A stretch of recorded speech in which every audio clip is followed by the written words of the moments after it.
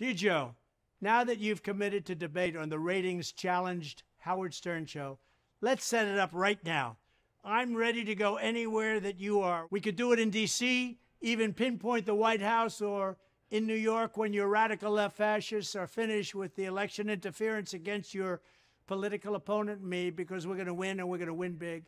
In any event, let's get it done. The people of our country deserve to know why you have allowed 15 million people and probably many more than that, into our country from prisons and mental institutions, and terrorists are pouring into our country.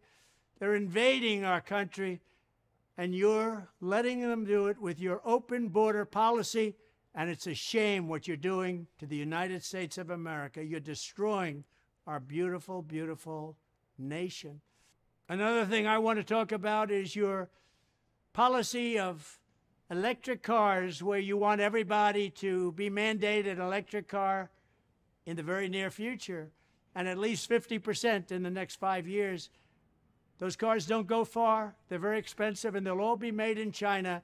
And I hope you're listening, United Auto Workers, because your union head is destroying you. They're all going to be made in China. We're not going to have any jobs in Michigan unless I'm elected. And if I'm elected, you're going to have more auto jobs than you've had for 25 years.